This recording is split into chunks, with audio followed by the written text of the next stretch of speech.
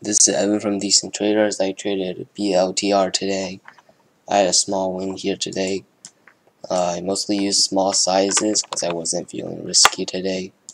Anyways, I went in for a one minute breakout as usual. Works decently fine until it breaks me even, decides to reverse at this point. And since uh, my orders wouldn't fill that fast because of how volatile this was, uh, I decided not to go in for a short.